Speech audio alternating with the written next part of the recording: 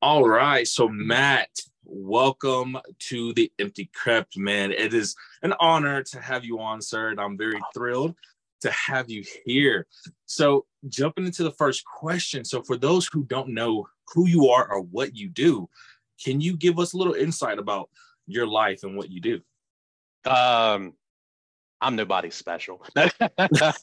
I uh, I'm just uh, just a simple indie horror filmmaker. Uh, I've been in the quote unquote business since uh, roughly, gosh, I guess two around 2005, 2006.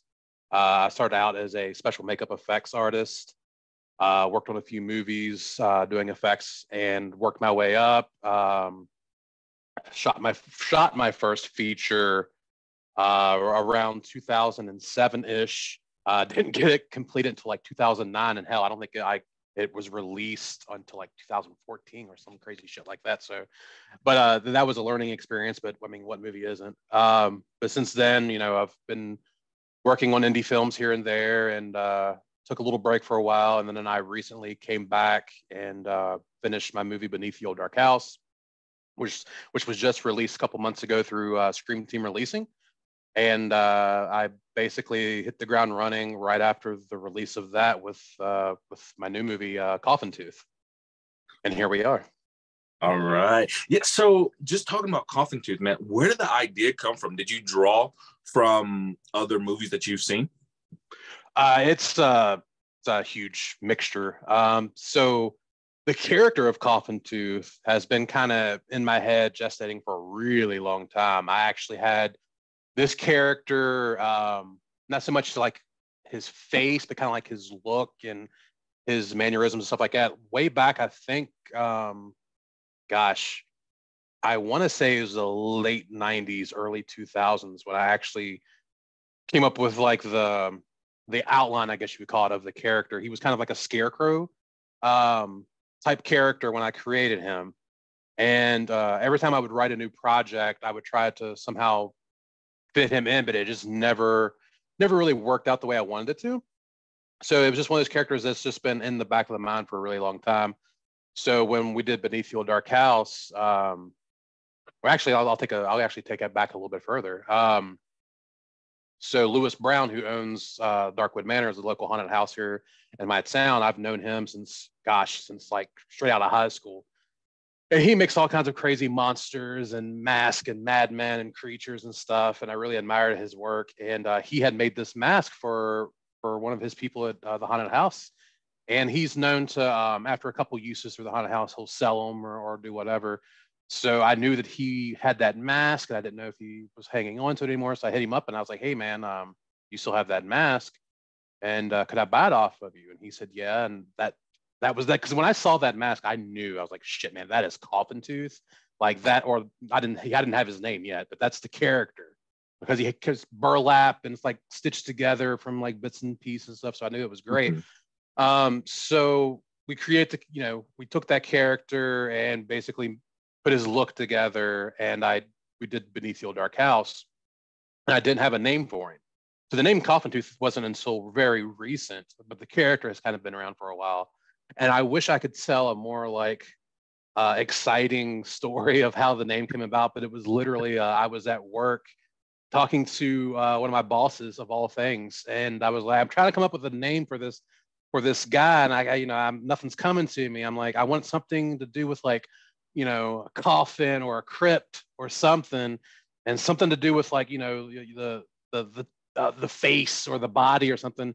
And literally, he just said coffin tooth, and I just perked up. I said, "That sounds really fucking cool." And that's and that's literally all there was to it. So there was really no, uh, you know, I, I can't sit here and say that I came up with the name or that it's a name that's been around forever. But uh, yeah, my uh, my my he was one of my bosses at, at my uh, uh, last job, and uh, really cool dude and a friend of mine. His name's Jimmy. So he came up with the name.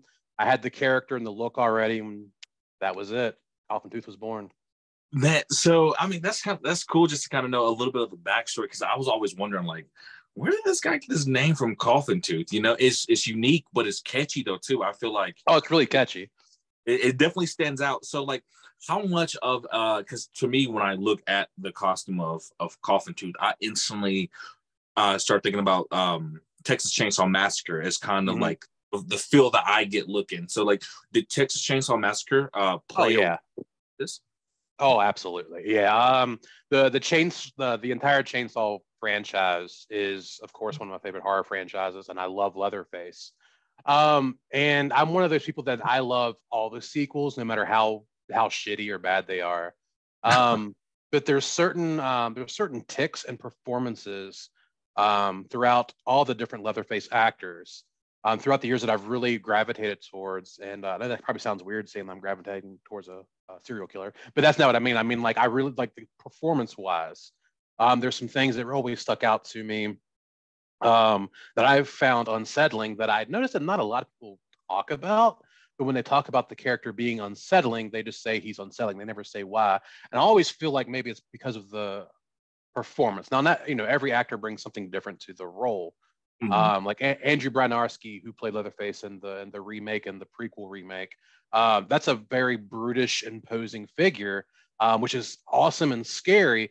That's not what necessarily makes it scary to me. It's almost um, like Bill Johnson's portrayal of Leatherface and, and Chainsaw 2. Um, it's almost like the Frankenstein theory, where it's a brain of a child inside of the, uh, you know, the body of a, of a huge man. And like that's always um, kind of piqued my interest with characters and stuff. So with Coffin Tooth, uh, I'm also a huge, gigantic, uh, you know, old school monster fan, Frankenstein and stuff like that. Now, I think that's why Frankenstein's my favorite monster, is because he's got that childlike quality inside of the body of a of a you know creature or a monster or whatever. So that's what I want to do with Coffin Tooth was um, you know there, there's nothing redeeming about the character. I don't want to try to come off as you know he's a child so feel sorry for him. No, he he's very much uh, an evil piece of shit. but he's uh, he's also got the mind of a child, and it's very it's a it's a marriage between your hillbilly horror and your um your like Evil Dead, uh, supernatural kind of mythology kind of married together. I don't want to get too much more into it because it'll kind of start um, maybe revealing a little bit too much about Coffin oh. Tooth. Mm-hmm. Um, but anyway, uh, trying not to try to, I, I, ramble a lot, so you have to excuse me. um, but uh, yeah, so uh, the Coffin Tooth, um, you know, Leatherface by you know by far was definitely a big inspiration behind the character, and I you know it's it's kind of hard to tell in some some pictures, and I'm I'm glancing down. I was bring him up now. Um, so it's hard to tell in some pictures, but if you look really closely, like it's not like Leatherface. It's not like skin stitched together and stuff like that. It's literally like trinkets and burlap and leather straps and uh, safety pins and old dentures um, that he is that he has pieced together um, to to make this mask. And there's two masks uh, in the movie. There is a young Coffin Tooth, and of course the the main character. So young Coffin Tooth has a proto uh, proto mask, and it's you know a burlap stitched together sack with like a button for an eye and like uh, animal like I, I can't remember what type of animal it's supposed to be, but like little like animal jawbones, um, mm-hmm. like glued to the mouth and make them look like teeth. So I just want to give you know give the effect that he's not like Leatherface where he takes people's skin or anything like that, but he's very much um, he likes making a makeshift mask out of bits and pieces that he's got laying around um, mm. to cover his face. So just something a little, a little like it, it. Again, you know, it is very reminiscent of Leatherface, but it's it's also its own little thing his own entity. Man, that mask is creepy. Like it yeah, really is. It really is. Man, so like what is so what is the the ultimate goal for you with this um with the launch of your movie? Because I know you've you've already been filming a little bit, right? Mm-hmm. Yeah, the movie is movie's roughly in the ballpark of 70% done. Um okay. actually, I mean, we film again in two weeks.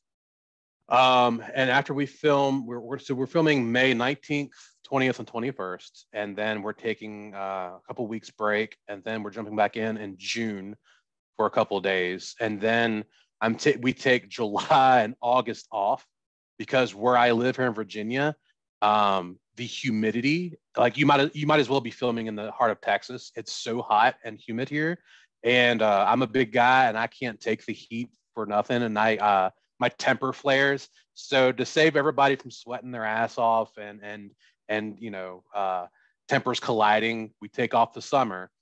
And uh, September we're going to be filming for three days, and that'll be the last uh, technical three days of shooting. Um, after that, I think we're going to film for like maybe a day in October, which is just pick up shots, the party goer scenes, and stuff like that. And then movies, movies done, which is kind of poetic because we started shooting this movie. That nobody really knows this, um, but we actually started shooting this movie in September. So we'll be finishing it in September. So it took a whole year, but it does. Is this the first movie where it a year completely flew by for me, and probably because of we started in September and then you got you know Halloween and then the holidays yeah. hit. So everything just happens so fast. And, and now here we are it's almost a year but um it also be one of the quickest movies I've had a turnaround on. So you know a for effort on that I guess. For sure man. Um so like what's what's the goal for you? Are you wanting this to become like you know a a classic if you will like is there is because I know there's been a lot of people. Your Indiegogo campaign was phenomenal, the for the finishing and all that good stuff. So congratulations on running a successful Thank campaign. Uh, so like, what, what's the goal in mind for you with Coffin Tooth? Uh, I mean, every filmmaker, well, every I should say, every horror filmmaker that's uh, creating something new and different that's not a remake or a reboot or a requel or whatever the fuck kids calling it nowadays. um, every everybody wants their character to be the next Freddy, the next Jason, the next Michael Myers, the next Leatherface, so on and so forth. Um, while I would love to sit here and tell you, uh, yeah, my goal is for Leatherface. I mean, uh, Coffin Tooth to become the next Leatherface. Um, it's honestly, it's just like I didn't even think I was going to be doing this movie when, uh, you know, when I finished Beneath the Old Dark House. It was always that little part of me like I don't think I'm going to keep doing movies anymore. Um, but then there was actually a huge response uh, to that movie and to the character, and I saw the value in that character. So you know that's why I decided to do this movie. But as far as like future goal of trying to make Leatherface into something, um, it's something I would maybe like to do, but I, that's not a certain goal that I've set. And I mean, I, I hate to sound like the, you know, the the filmmaker that kind of like talks down on himself or whatever. But like as far as like any kind of goals, I'm just trying to make something fun and uh, a cool movie that I enjoy. Hopefully, other people do too. Um, so there's no real like aspirations uh, or anything like that. But if he does become, you know, if it does pick up and, and become something cool, that's of course even better. The only, the only really, I guess you can say, future goal I have for Coffin Tooth is um, if if it is going to continue after this movie, which I I think it it's got a future. Um, there's only two movies left in the franchise for me, and uh, it's it's it's another sequel. And then after that, if I was to do one more, the only way um, that it's going to happen is if it's a versus movie. If I can get uh, Coffin Tooth versus uh, Dave Kehr's Slasher Nurse, or um, you know, or Coffin Tooth versus, you know, some other indie. If I can find another indie filmmaker who's got another character mm-hmm. um, that's their own creation, I would love to do like a first like indie crossover with Coffin Tooth and have him. And like, here's the thing, like, I don't even I don't even care if fucking Coffin Tooth loses. I just want to make a. Uh, I thought it'd be fun to see, you know, a versus movie eventually. So that's the only real. I I shouldn't say even goals or ideas that I have. Um, but other than that, there's real no uh, set goal. See, you know, I, I think it's funny you actually mentioned the, the verses because I'm actually a fan of, you know, the monster versus monster or mm-hmm. creature creature, you know, movies. And it's like nowadays, it's like you don't have a, a, a lot of that necessarily. You know, everybody's, right. um, you know, I don't, I don't want to sound like a critic or anything, but like, you know, everybody's trying to do what the next person is doing, you know, mm-hmm. just their own variation of it. So I think you know you trying to go back into that monster versus man, I love that, and I feel like people will value that because I feel like that's what we need. We need that kind of goofy monster versus monster. You got you know some klutzy chicks that get killed. You know that is what you know we as indie lovers see. So I mean, but speaking of indie though, like what are some of the difficulties that you face with trying to produce this movie and your other projects that you had in the past? Uh, I, I, could I could sit here and try to write a fucking novel, honestly. Um, I don't know if I've ever had any of my movies go smoothly. Um, and there seems that there's always always a huge fucking roadblock in the way, and it's always something, whether it be um, issues with crew, issues with editing, issues with both, uh, issues with egos colliding on set. And, um, you know, I, I've always said since I made my first movie, you, when you make a movie, every single movie is a lesson. And that lesson is what to do and what not to do the next time. So with each movie I've worked on, of course, I've made sure like, okay, well, this didn't go well make sure that in the next one we we cut that shit out. And um, I, again, I, I don't want. I, I could literally sit here for probably two hours and and just tell you terrible bullshit and terrible stories and terrible people and uh, and egos that come with it, which just it shocks me and just blows me away the amount of ego that you can find in indie filmmakers. And um, it's the dumbest fucking thing I I've ever seen and then this is see this is where I'll go off on tangents and, and shit. So you'll have to sometimes you'll have to kind of steer steer me back. But um, I just I just I just want to say real quick that um, it's the dumbest fucking thing because as an indie filmmaker, you are scraping and clawing your way to trying to make art, right? Mm-hmm. And um, I think the best way to show art or showcase your art or do art is kind of surround yourself with like-minded people and people that do the things that you do and people that enjoy doing the things that you do. And there's such a i don't know i guess rivalry or lack of better term out there where um, i've literally you know on facebook seen some filmmaker like they won't maybe mention names but they like are like oh well so and so did this. And it's just like dude that's that shut up. Like if it's not directly affecting you if it's not hurting anyone keep your keep you know keep people's projects out of your mouth unless it's there to praise. And I know it's not like uh like people will say participation awards and stuff like that. It's not that. It's not where you should because there are terrible filmmakers out there too, you know. um, so I, I can't sugarcoat that, and I can't pretend that terrible filmmakers don't exist. But I feel like there's a certain standard that we should all, you know, hold ourselves to. But there's also, on the other hand, like we need to hold each other up. We need to promote each other. We need to help each other and stuff like that. So that's something I, i'm starting to see maybe a little bit you know kind of pick up and there's more support and stuff like that which is great. Um, but to go back to your question about you know the atrocities and the and, and hardships of, of making a movie everybody's got an agenda and that's something that i think every filmmaker needs to know no matter who it is whether it's your whether it's your sound guy or you know the person running the slate or or whoever like not everybody is there for you they've mm-hmm. got um, their own agenda and you know half the time a lot of your crew they're there for resume reasons and um, while that's fun i'll never make another movie with a uh, with a straight laced crew ever again because it's almost it almost feels corporate in a way even though it's not it's indie filmmaking but it, mm-hmm. like I, I worked on the movie. I'm not going to name anything, but I worked on the movie where I was the only like in like indie guerrilla filmmaker on the set. Everybody else was film school brats, and like I was treated like I was some like peasant peon, and I was just like, who who wants this? Like, who wants to work? Who wants to make art where you're felt like you don't belong? because I'm hmm. where I come from, the artists were the outcast, and those are the ones that are supposed to stick together. So I, after that experience, I was like, no, fuck that, never again. Um, I didn't go to film school. I'm self-taught. I've you know I've had to crawl under barbed wire fences. I've had to reach down in the mud and crawl to make movies, and uh, that's just how I do it. And I'm not talking down on film school. Film school is great. Mm-hmm. Um, it's just not for me. But I don't feel like whether you go to school or not, um, it should matter in mentality you should treat everybody equal. Everybody's artists, everybody's trying to make something cool. And if you're working on a project together, you should all come together collectively to make that piece of art.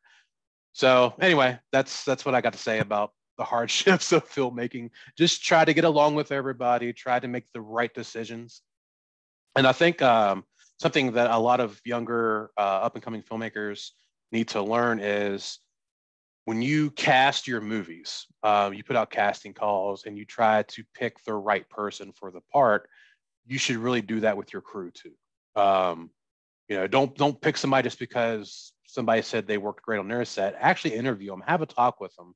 Yeah. You know, if they're if they're close by, uh, go have a beer with them or something. Break the ice. See if you gel well. Because if you gel well, then you're probably going to have a good time. If you don't gel well, just having a meeting and shooting the shit, guess what? It's probably not going to be too much fun on set. Um, so that's the best thing I can, you know, best advice I could even give people is try to surround yourself with people that you like, people that you would want to be with and around outside of um, filming, and I think you'll have an easier time. So that actually leads me to my to my next question. So, what made you select you know your cast? Like was it because like you know of their resumes or have you worked with these people prior? So what made you want to select certain people for for coffin tooth? Um so like any any filmmaker whether it be uh like dave kerr who does you know just uh is getting ready to do the new slasher nurse movie and uh, you know go, uh, go away is getting ready to come out. You know like him like many other filmmakers how like even like rob zombie you you end up working with certain people that you know you have a good time with, that you know are reliable, that you know are, are good and, and it's going to show up and bring their A game. Those are the people that I latch onto and I keep. And when I'm writing my scripts, I actually write parts for them. And then everything else, you know, is casting call. Coffin Tooth was one is one of the first projects where um, not only the lead, but the co-lead um, are people that I've never worked with before. Um, usually I work, you know, I mainly work with people that I've always worked with before. Um, but this is kind of new. I'd say a good 70% of the cast uh, is new to me. Uh-huh. then you got uh-huh. actors like Jim Krut from Dawn of the Dead, who I've worked with before. You know, I wrote I wrote his part especially for him, um, stuff like that. And uh, so, but this was a this was a different experience with casting all new people in a way. And it was kind of hard for me because there were so many roles that i kind of wanted to give to some other actors that i usually work with. But seeing as how coffin tooth is technically a uh, spin-off sequel from beneath your dark house it didn't make much sense to bring all everybody back to play different characters um, since they were just in the last one. But i found ways around um, working that. So there's there's a handful, there's like a couple people here and there from the previous movie that's in this one, and it's just because I love them dearly and want to put them in it. But everybody else was all new, so it was just a simple casting call of, you know, put the call out. Um, we got a shit ton of auditions for the both the lead and co-lead, and um, our lead Anna Clary, who plays uh, the role of Parker, um, she sent in her audition, and we we got a lot of auditions for for that role of Parker, and they were there were some really damn good ones. And Anna um, sent hers in, and I watched it, and I immediately hit up my uh, my uh, well, I shouldn't say assistant. She's no longer my assistant. She's uh, assistant director and executive producer. Uh, my friend Katie. I literally hit her up. I was like, "Hey, you need to watch this right now. Tell me what you think." And we both agreed that she was the one and it was that was pretty much that. We hit her up and we're like hey can we do a, a, zoom call? And we talked to her and we just offered her the role you know right there on the spot. And then um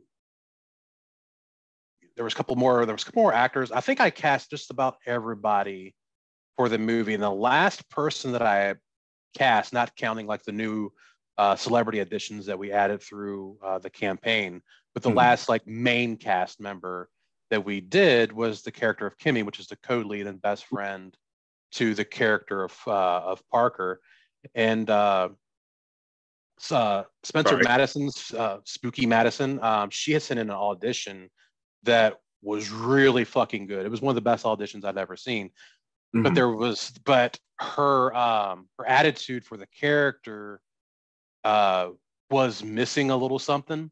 Her acting was phenomenal. So I just hit her up. I was like, hey, uh, could you do another audition, but do it in this mindset of this certain type of person? And she understood the assignment and sent me another audition right away. And uh, that was that. I knew she was the person for for the part. So it was fun. It was a mixture uh, like i said of, of bringing in people that i've worked with before that i knew were going to be good and mm. you know bringing in new people with auditions. And i think auditions are actually a lot of fun. Um, that's actually probably my new favorite part of filmmaking is is the auditions nice man so like with with it being a year, you know, with this, what has been like the most rewarding thing uh, during filming? So, like, is it you seeing your your movie come to life, like, or is it like certain scenes that you envision and you're like, oh wow, that's exactly how I wanted it and better. So, like, what's the most rewarding thing you've you've noticed during your time making? Oh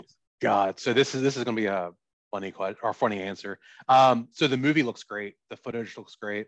All the all the scenes and shots I had in my head, I feel like we we've we've we grabbed those.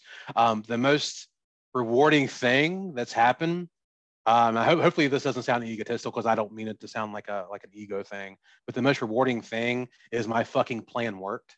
Um, I basically so the the first people that were on this job were myself, of course, because I wrote the goddamn thing, uh, my director of photography, uh, Jesse Knight, and our uh, our assistant director slash uh, D, our uh, assistant director slash EP executive producer, Katie Bennett.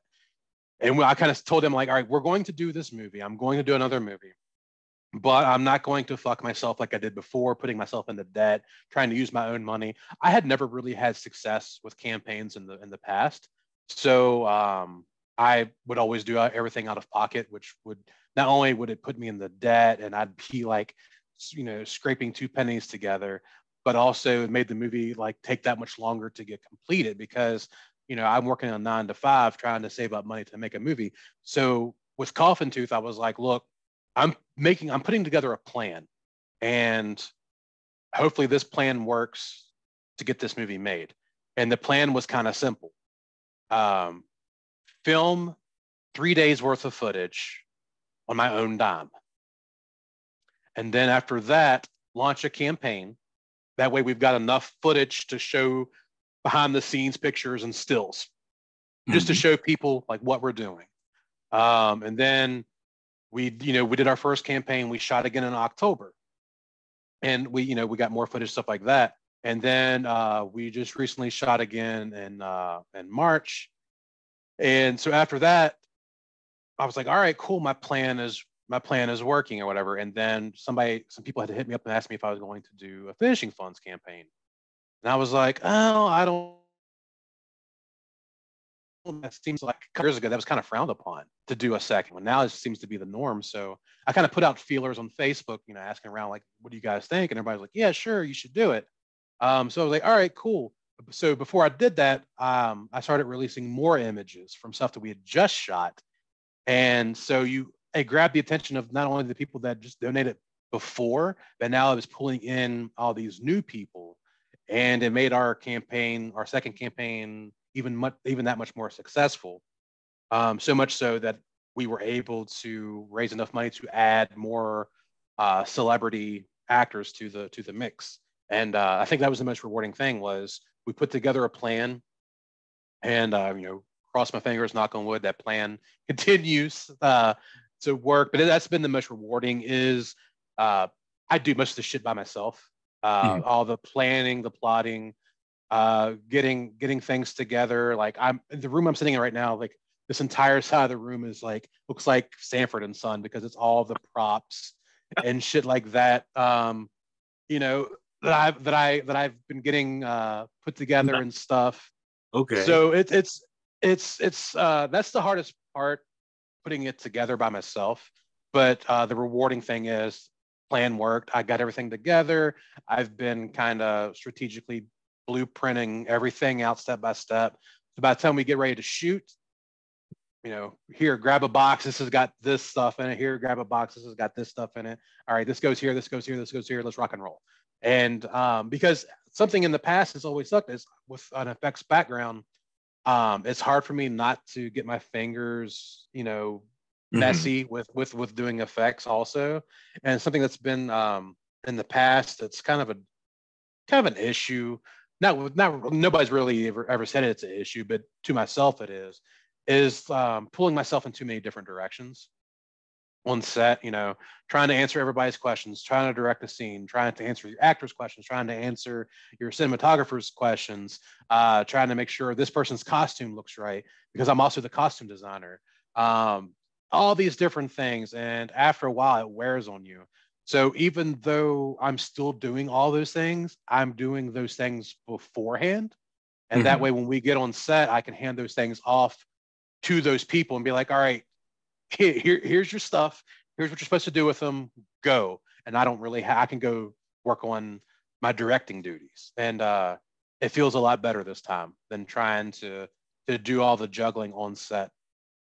For sure. So, I mean, hearing you kind of talk about it now, is this project have a different feel from the other projects that you know that you've done or that you produce? Like, does this feel does this feel like the one? Does it feel special? Eh, it does feel special. Um, gosh, I don't know if I should how far into this I should get. Um, I guess I'll I'll I'll mention it, and then if you want to talk about it later, we can. Um, okay. But I but I have a project that I've been working on for uh, a fucking decade, and that movie is also um, probably like eighty percent done but there was a lot of financial issues that we ran into kind of stopping me from finishing it. And now with the success of the Coffin Tooth campaign, we're hoping, oh, okay, time is now to raise the finishing funds for this project. Um, and that project's called Night Living Dead Genesis. It's a uh, prequel, reboot sequel to the original Night Living Dead, and uh, it's starring Judith O'Dea, the original Barbara, and she's playing an older version of Barbara. Mm-hmm. Um, and so that project, even though it's not done yet, and you know we won't be finishing it until next year, um, that project's probably the most special. But Coffin Tooth um, is a different kind of special, and the reason is I kind of feel like all of my films, you can definitely tell that I have a certain style, and I, you can definitely see that style and there's and, uh, and almost tropes in a way in all my projects. This one is a culmination of everything that I've done in the past, kind of wrapped together and turned into an all new a beast, basically. It's the biggest budget that I've technically worked with. I shouldn't say, I mean, Night Living Dead's a completely different animal. I don't even know how much, I'd have to sit here and calculate how much money was put into that movie so far. that one's a different animal as far as like straight lace down in the dirt indie movies. Coffin Tooth is the uh, the biggest budget I've worked with so far, and I think we're eyeing somewhere in a ballpark of about twenty thousand um, total for Coffin Tooth. And um, to put that in perspective, Beneath Your Dark House that just came out had a total budget of five thousand. Which it's fucking massively apart, and you don't know how hard it is to put together a feature length movie on five thousand um, dollars. But I feel like no matter how low of a budget shitty movie that I've made in the past, I do feel like I have at least um, a nice visual style, and mm-hmm. this this movie is that times ten. Um, very visual. Uh, I get to get the I get to be a little bit more creative. Um, so yeah, this is this is the most special uh, indie. It's like I said, it's hard. It's hard for me to say between Night Living Dead Genesis and Coffin Tooth. Uh-huh. They're both special for different reasons, but for for sake of you know not being a four hour show, and we're talking about Coffin Tooth, I'll say yes, Coffin Tooth is very special because it is different and it's uh, technically the type of film that I've always wanted to make. If that makes sense. No, um, so I definitely want to talk to you about Night of the Living Dead. That is amazing. Got to know more about that. But um, so what make what make you think that the reason why so many people rally behind Coffin Tooth? Because I remember, you know, I do remember you making your post on Facebook about, you know, if you should do a finishing funds. I know you was kind of up in the air on that. And as mm. soon as you posted it, it's like you already hit, you know, your stretch goal in a matter of couple, you know, uh, a couple days. Yeah, yeah, yeah. And, and what's like, funny, everybody. what's funny is um, this campaign was only uh, three weeks long, mm-hmm. and we hit 11 over 11,000 in three weeks.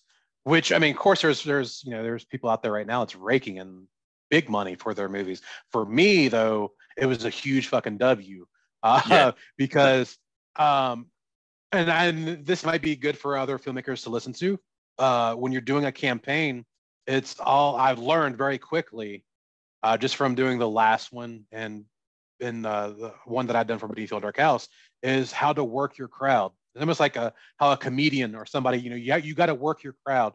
You got to you got to see what works, what doesn't, who who gravitates towards what kind of perk, who gravitates towards this and that, and you got to you know figure out well what sells best and, and everything. So um, to make to make this successful, I knew that anything more than three weeks was not going to work because people see a campaign, they see that you've got 60 days or 90 days to raise this money, and um, in a person's mind who either a is not working on the movie or b doesn't even know how movies work.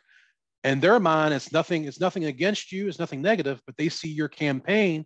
They see 60 days. They see 90 days. They see hell 30 days. They're like oh he'll, they'll, they'll get that. No no worries. They've got plenty of time. And then before you know it they fucking forget. And then it's it's it's all over with. You set your campaign for um, 30 days or less you're actually going to get more traffic because you're you're showing people you've got less time to hurry up and and, and get get those perks in. Um, and then you you got to realize this sounds weird because I hate people. I know this is really weird. I I, I hate I hate people, um, dealing with people in, in the world and stuff like that. Even though I'm, I try to be nice to everyone, um, but you've got to you've got to learn people and see what they like. And you a lot of things is with with people who don't necessarily make movies. Everybody wants to be a part of a movie. And something that I've always heard since day one of, of working on movies is, hey, uh, I'll be in your movie. Can I be in your movie? Or hey, I'll just be a random redneck, or I'll just be a random zombie, or I'll be this. I'll... And people are always coming coming to you, even if you haven't talked to this motherfucker in 10 years. They come out of the woodwork. Hey man, I'd like to be in your movie. And that's when you realize, oh, okay, well, I need to make money. I need I need to make this movie. You can't be in this movie unless I hit this goal. You want to be in the movie? I tell you what, here's a perk. You can be a party goer. You get to be seen on screen for like five seconds. You get to be in the fun. You get to be in the movie. We got the money. You're happy. I'm happy. Awesome. And uh, so I think that's the biggest thing is again working your crowd, seeing what works, what doesn't work, and remembering that people want to be a part of the movie no matter what. Oh yeah. And it's funny because those same some of those people, you know, they'll be like, oh well, you know, his movie, blah blah blah blah blah. Oh, what's that? I can be in it. Oh well, hey, you know, it's, it's always it's always those kind of plays. Um, and you just got to remember nothing's personal nobody means anything you know malicious or whatever it's just how people work and you got to you got to again learn people you got to learn how they work and uh, you will get a successful campaign if you do those things and probably the biggest thing that left out is it will mentally exhaust you to no end but you have to post at least five times a day because and it all comes down to algorithm mm-hmm. um, mm-hmm. facebook or social media is only putting out there certain things that get hits right Mm-hmm. And it, um, what's weird is I don't know if anybody else has experienced this or tried this, but like if you're sharing your link, okay, you make a post and you share your link to your campaign in the post. For whatever reason, the algorithm picks up that you're sharing a link and they don't they don't promote it because it's not a link that is sending that person to anything that's Facebook related. So your link kind of gets pushed down the algorithm. But if you make a post and say, hey, you know, today's goal was this, this, and this. Uh, check it out, comments below. You make that post and then wait about five seconds and then come through in the comments and post that link. That post is higher up in the algorithm because the algorithm is not picking up the link, it's picking up your post.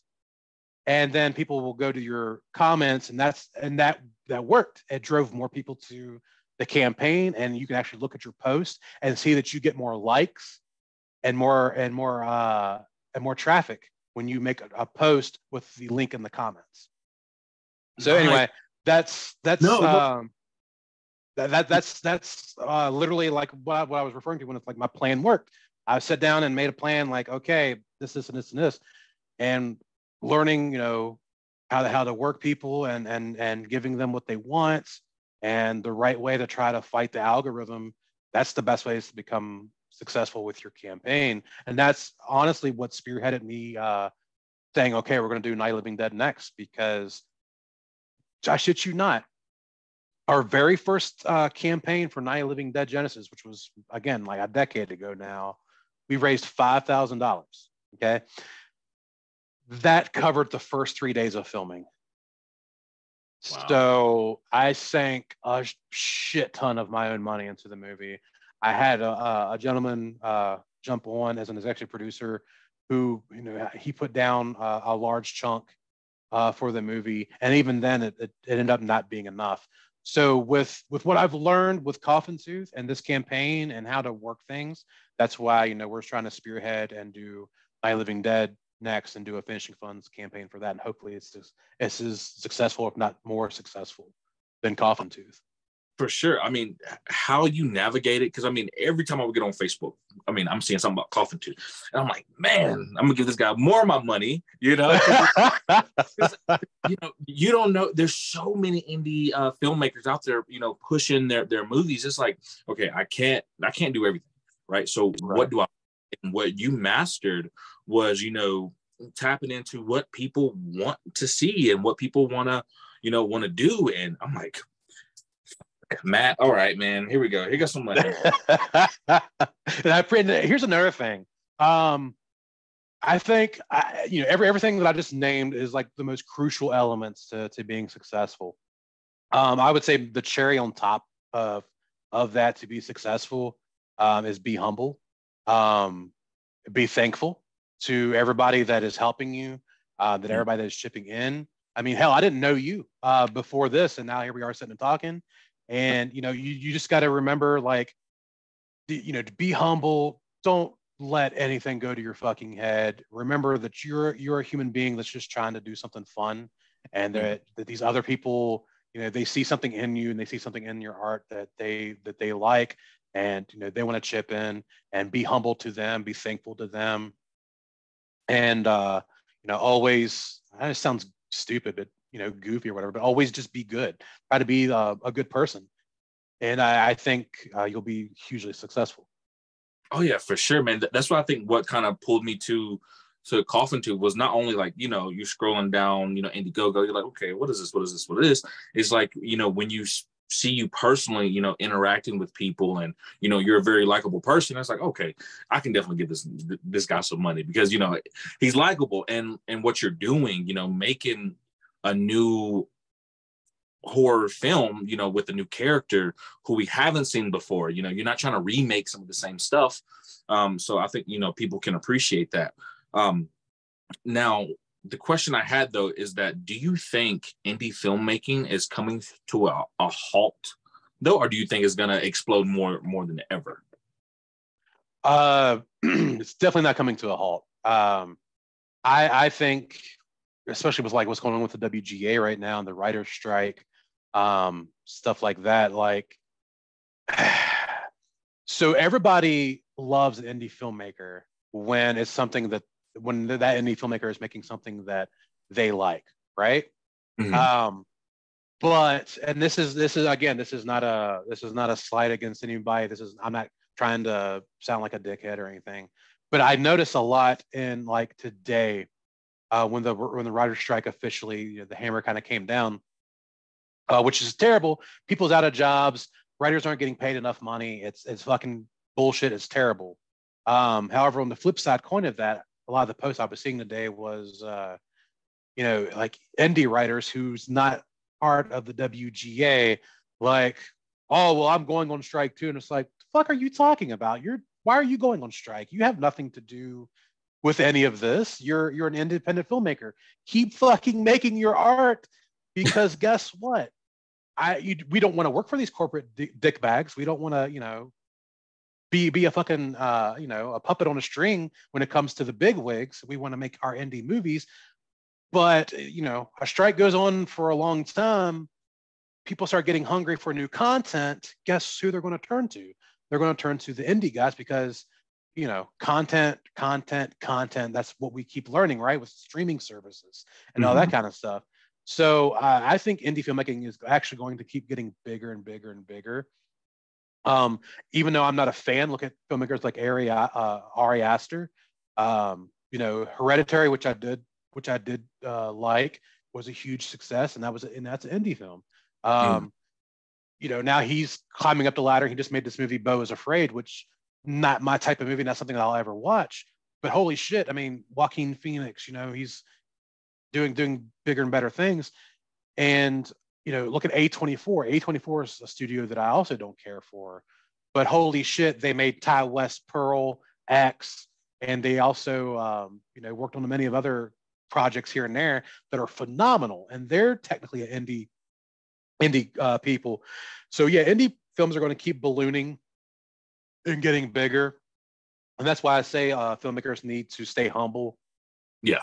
And and and help each other out because there might come a time when they need, you know, they need people need to turn to indie filmmakers. Like, hey, we we need you guys to hire you guys to do this, that, and the other. Um, so I, I I think that indie filmmaking right now is probably in the best place that it's been in since the 80s. And what's weird about saying that is indie filmmaking now is completely different than it was in the 80s. But what people don't remember or realize is in the 80s, you didn't have jackoffs like me, you know, out here running around in the backyard with a nice camera making uh, indie film. It wasn't really like that then, except for your shot on video stuff. Um, but people forget that, you know, the greatest horror film of all time, Halloween, the independent film, 300 some thousand dollars and what's funny is when you hear John Carpenter talk about Halloween, they talk about the $300,000 budget. They really talk about it like if that wasn't a lot of money. And the biggest difference between then and now is do you know what the fuck I could do with $300,000? That's true. That's true. So it's it's weird. It's weird that it's changed like that. But when I say that um, the indie films are just are, are just successful now uh, just as big now as they were in the 80s is because even though it was a different breed of filmmaker in the 80s and a different style, um, these they were still churning things out left and right. Your mom and pop stores and shelves were getting filled with like the next fucking random horror movie, and uh, it was it was a big deal. And I feel like that really slowed down um, in the late 90s and into the 2000s. It was still a lot of you know straight to video indie things, but the quality kind of dipped. Uh, the storytelling really took a nosedive. And mm. I feel like, you know, mid 2000s, they would kind of fluctuated and like you started getting like kind of like new, new bigger names were popping up in there and stuff. But now we're, I feel like we're boomerang came back to the 80s where a lot of the indie filmmakers now are like those guys. They're actually putting out quality indie content. And it's not like a, you know, let's shoot this movie for a fucking dime and get it out as soon as possible. A lot of these indie filmmakers are taking the shit to heart and putting you know their heart and soul and style back into the indie indie scene. And nothing nothing proves that more than Terrifier and Terrifier 2. Um, oh yeah, those are quintessential indie films, and um, they 100% created a, a new icon. Uh, Art the Clown is going to be around for a very long time and what's crazy is this, you put the Terrifier and Terrifier 2, you put their budgets together, and it's still probably not going to meet some shitty horror film that just hit the the theater, you know? And uh and the quality, the quality is is on par with with those films. So yeah, I, I think we're going to start seeing almost a renaissance and the uprising of indie filmmakers, and we're going to start seeing more art the clowns. We're going to start seeing more people using uh, new, fresh ideas for their characters. Because at the bottom of the day, my, one of my biggest rules has always been if you can't make uh, a halfway decent movie for a dollar, make something in that movie stand out and look fucking cool. And if yeah. you got to, so so if it's a slasher film, that if, if if your movie sucks and you've got a fucking dollar to your name to make that movie, and the acting sucks, make that killer fucking awesome. Make that killer look cool and stand out because no matter how bad your movie is, guess what? Us horror freaks, we see a cool looking killer, we're like, well, fuck, I got to check this out. And, you know, yep. and, and it, it could be good, it could be bad, but whatever, at least try to do something cool, if that makes sense. No, no, that that makes perfect sense, and I'm glad you kind of hit on that, especially with Terrifier and then Terrifier Two, and even All Hallows Eve. Um, mm-hmm. It's just like I feel like you know ever since Terrifier you know was released back in like 2016 or whatever, indie was already going going pretty strong, but it's like more people oh. more people jumped in when the release of Terrifier 2 happened because they're like, you know, wow, you know, a guy made this with under under $300,000 and now, you know, these guys are touring. Speaking of touring, I heard Coffin Tooth and yourself will be at Monster Mania, man. So yep, in October. That? Yep. Um so Scream Team Releasing, which is to me one of the best uh, indie uh, distributors out there right now. Uh, so they released uh, Beneath, Beneath Your Dark House, my previous movie. And um, so I'm doing uh, Coffin Tooth, and uh, I you know I'm in the middle of filming, so distribution really wasn't in my mind yet. Um, I knew that I probably would like to have gone with Scream Team again, but it's just mm-hmm. one, of those, one of those things where you don't know if they're going to be interested in another movie of yours. So you know whatever. But they reached out to me and they're like, "Hey, we uh we we won Coffin Tooth." I'm like, "Fucking cool, all right." So we, we've already signed. We've already signed a deal. Uh, Coffin Tooth's already been picked up for distro through Scream Team Releasing. So um, I knew that I want to take Coffin Tooth on like a little mini tour, do some conventions because I haven't done conventions in years. And um, Monster Mania in Maryland is only like a two-hour drive for me. And I haven't been to Monster Mania in a few years, and I always love going there. So I went to so I just it was simple. I went on the Monster Mania website and I couldn't find the vendor info for October.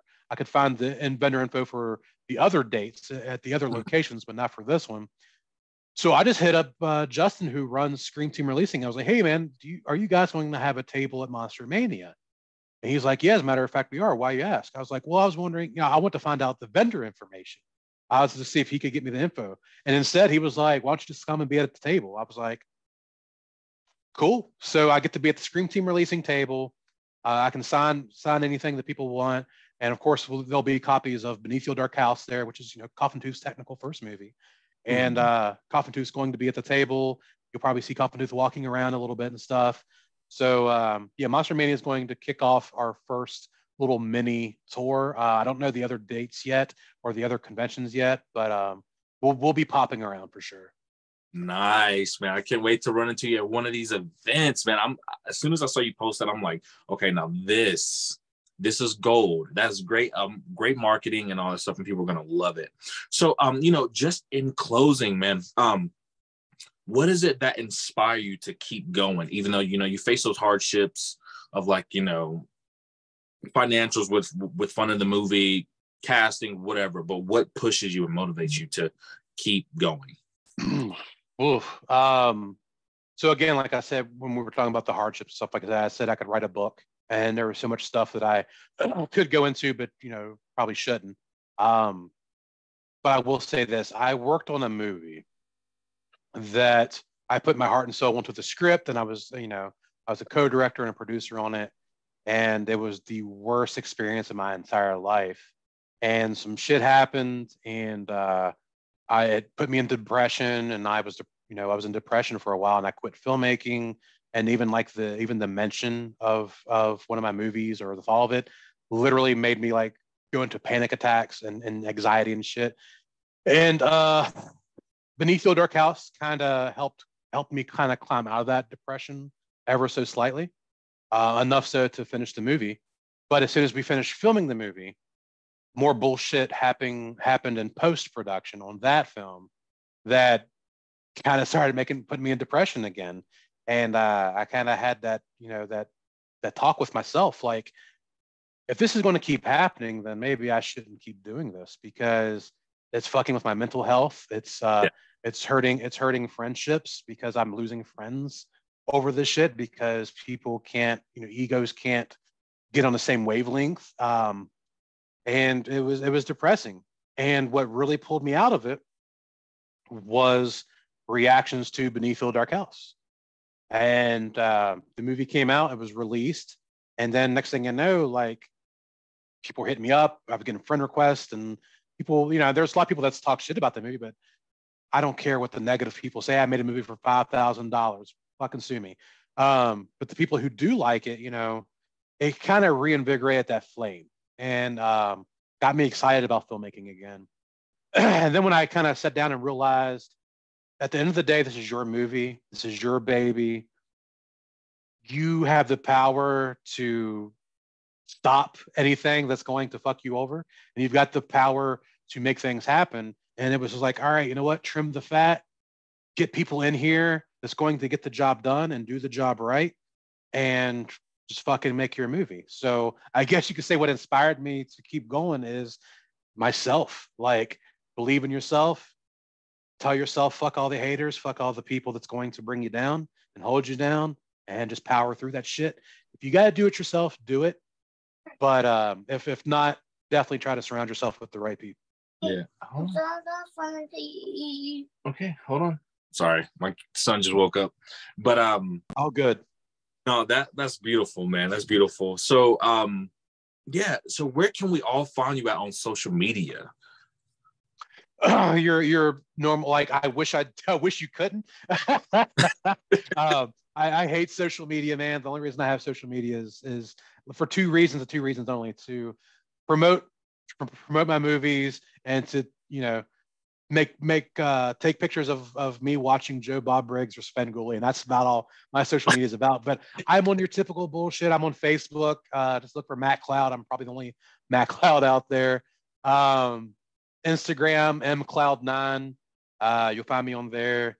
Um, I have a Twitter, but don't follow me on Twitter because Twitter's fucking crazy, and I only check Twitter like once a month. So don't don't don't do that. Um, probably the best place to follow me is, is Facebook. Um, I'm 100% active on Facebook. I'm like 95% active on Instagram. For sure, my man. It has been it's been good to you know actually you know talk to you, camera to camera. But uh, absolutely, I actually enjoyed it. So yeah, so that's all I had for today. Now, so Coffin Tooth will be coming out 2024, or should we get yes. it? Yes, it, will be out 2024. Um, I first quarter probably 2024. Um, probably I you know I don't want to give certain dates because you never know what could happen. Uh, things mm-hmm. could get pushed back. Um, but as far as it stands right now, we're eyeing, I should say, we're eyeing a uh, probably March release date 2024. However, the uh, theatrical world premiere will be before that. Our theatrical world premiere, I can't promise will be December, but uh, at least January, probably February, maybe for theatrical premiere. And I, I, don't think I've even announced this yet. So this might be an exclusive.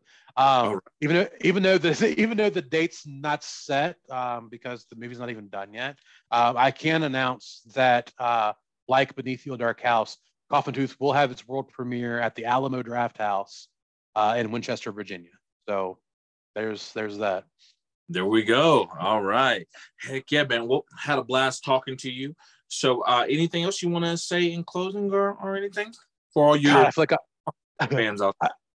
I feel like I've talked enough. Um, I I I, uh, I talk uh, talk a lot. Um, no, I don't really have anything else to say other than you know if you're if you're indie filmmaker, keep doing your keep doing your thing, be humble, and uh, you know uh, keep you know keep a strong heart. And uh, to to fans, thank you. You guys are awesome, wonderful, and thank you for uh, helping us make this movie. All right. So I'll, actually hit you up as soon as I end this recording and all that good stuff, just because I do have some questions for you. Yeah, no problem, dude. Okay. All right, boss. It's been a pleasure, and I'm gonna go ahead and upload this so you'll have all the information and stuff here shortly. Okay. Perfect, man. Thank you so much. Yes, sir. No, you have a good one. Okay. You too. All right. Bye-bye.